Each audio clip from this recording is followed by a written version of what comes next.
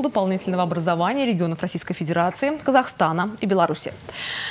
Наши корреспонденты рассказывают вам о происшествиях и интересных событиях. Но в этот раз они сами стали героями репортажа. Мои коллеги принимают участие в специальном проекте от школы танцев «Аста Дэнс». До финала, который состоится 3 апреля, им предстоит освоить три танца.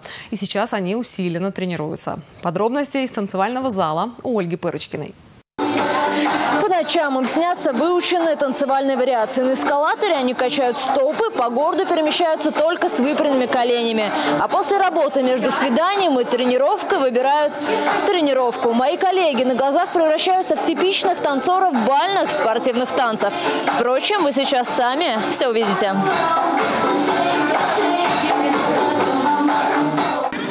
Ведущие новостей, корреспонденты национального телевидения Чувашии Юлия Важенина и Алена Алтухова сейчас все свободное от работы время проводят в танцевальном зале. Вместе с другими участниками проекта они учат румбу, самбу и ча-ча-ча. Прекрасно. Самое сложное, наверное, не забыть все и, в общем, попасть в ритм. И, кстати, самое главное – слушать партнера. Я очень часто люблю своевольно что-то делать. Я обожаю щелкать, за что меня мой тренер ругает. Продемонстрировать, чему они научились, им предстоит на турнире уже в это воскресенье, 3 апреля. Времени на тренировки осталось мало, и его девушки зря не теряют. Готовлюсь не только на работе, я готовлюсь и дома. Я даже готовлюсь в магазине. Иду там, слышу, слышу музыка идет.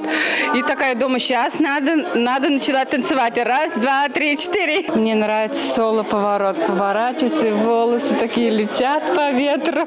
Я вся такая воздушная. И партнера по лицу волосы. Не знаю. Но он, думаю, доволен.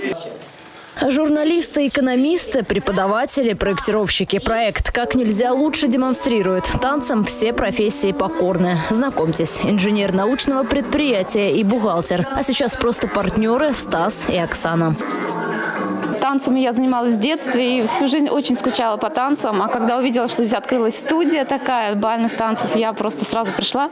Вот. И два года я здесь занимаюсь. Любимый танец – это румба, это чувство, это ну, очень-очень красивый танец. Сложно, наверное, вот вместе с партнершей как бы э, понять, что она хочет, в какое движение хочет идти. Не то, что партнер ведет, а уже почувствовать партнершу. Ну и, наверное, не отвлекаться. На красивых девушек вокруг, я правильно понимаю? Для бухгалтера Натальи танцы – одно из многочисленных хобби. Для ее партнера, проектировщика дорог, возможность больше двигаться. Пришел в танцы, хотелось двигаться, немножко развить способность координации пластику. На турнире, который состоится 3 апреля, пары будут соревноваться в нескольких категориях. К примеру, наши Юлия и Алена в категории Про-М. Это когда в паре стоят любитель и профессионал. Чем хорош формат про М, когда в паре профессионал и любитель стоят. То есть практически за три недели мы можем вот результат выдать на лицо. Мне все говорят, у меня не получится, я никогда не танцевал, я ничего не могу, я деревянный, я худой, я наоборот не худой, я большой, я маленький, всячески. Получается у всех.